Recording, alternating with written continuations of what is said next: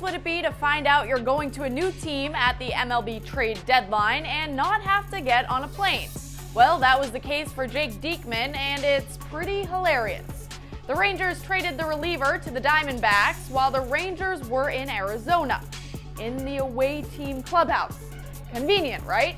Well, this is where it gets funny. The Diamondbacks are the only team in the majors to still use a bullpen cart.